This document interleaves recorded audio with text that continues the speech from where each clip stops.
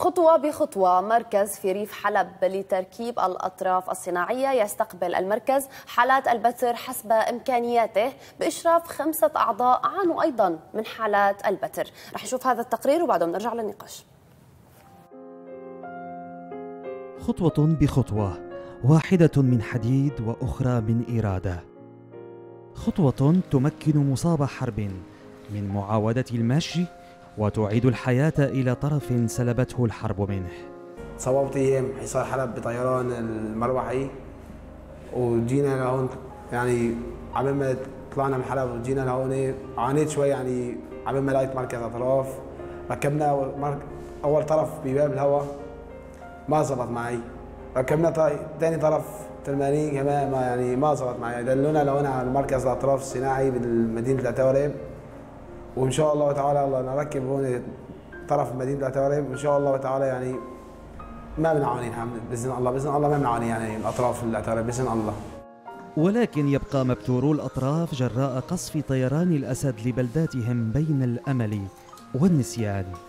في ريف حلب وفي ظل شح العناية الطبية والتهميش قام مجموعة من المصابين بتأسيس مركز خطوة بخطوة لزراعة الأطراف الصناعية. الحمد لله اليوم تم افتتاح المشروع. آه تم افتتاح آه مركز الأطراف وكان في إقبال كتير كبير.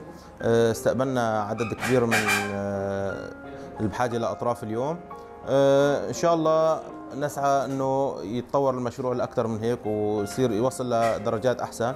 آه نحن هلأ مبدئيا آه، مشروعنا تقريبا بالشهر رح نقدر آه، نخدم 15 طرف صناعي. خطوة خطاها الطفل محمد وغيره من المصابين ليزرعوا أطرافا قد بترتها طائرات الأسد.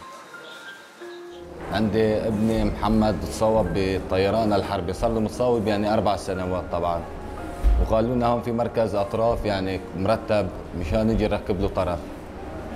ركبت له من فترة طرف وما زبط يعني خرب الطرف. وهلأ هون الله يسر قالوا لنا أطراف كويسة بدنا نعمل له طرف إن شاء الله. ويعني بالمنطقة ما عندنا يعني مراكز طبعا. بقى هون يعني المشوار بيوصل بدنا شيء ساعتين ونص لحتى نوصل لهون. مع إشراقات أمل من هنا وآخر من هناك يبقى السوريون بانتظار حل يعيد حقوقهم ويداوي جراحهم.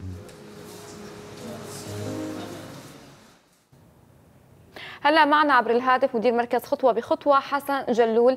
يسعد مساك أستاذ حسن. أهلا وسهلا فيكي.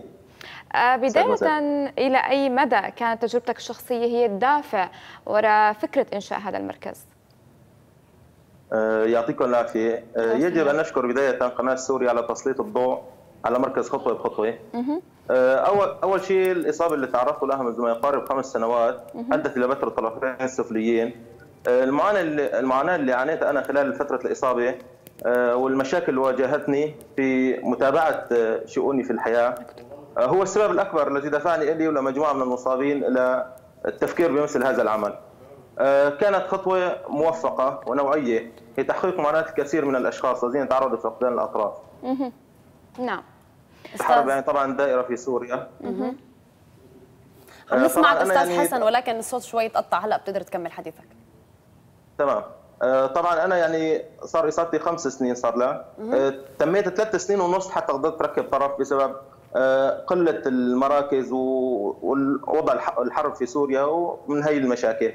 نعم. خلينا نحكي عن عن عدد المستفيدين من خدمات هذا المركز. إذا في كمان فئات عمرية بيكون منيح إذا بتقدر تساعدنا بإحصائية هذه الأرقام.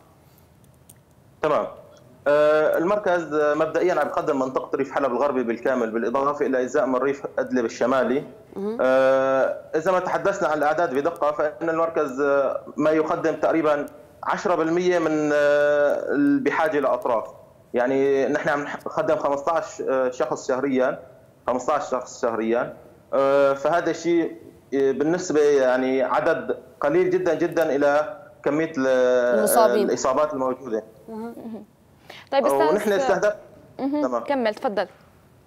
آه نحن حاولنا ببداية المشروع نستهدف ركزنا الضوء أول شيء على آه ما دون 16 سنة الأطفال. الأطفال. يعني هي بتكون معاناتهم أكبر شيء ما عندهم صبر؟ فحاولنا نركز أول شيء مشروعنا على الأطفال واستهدفنا فئات عمرية أخرى كمان. طيب شو هي المشاكل اللي عم بتواجهكم؟ هل هناك منظمات يعني تدعم هذا المركز؟ يعني طبعا نحن بحالة شبه عجز عن تقديم آه، كامل الاحتياجات في المنطقة، كون الأعداد في تزايد آه، والأطراف بحاجة إلى متابعة بشكل دائم وصيانة، تقريبا كل ثلاث اشهر اربعه بحاجة طرف يعني آه، إلى إعادة صيانة وإعادة ترتيب وقد يحتاج إلى إعادة تبديل لكامل الطرف.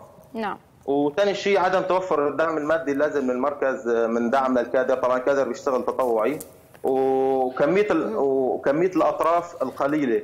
هل هناك يعني جهه معينة أستاذ حسن تدعمكم؟ أه، طبعا نحن مشروعنا لاقى قبول من شبكة الإغاثة الأوروبية في بلجيكا وهي اللي قدمت الأدوات وقدمت المواد اللازمة. الله يجزيهم خير. نتمنى لكم التوفيق ونتمنى فعلا هيك مشاريع تستمر دائما وتساعد كل مصابي الحرب. شكرا كثير لك رح نروح لفاصل قصير وبعده بنتابع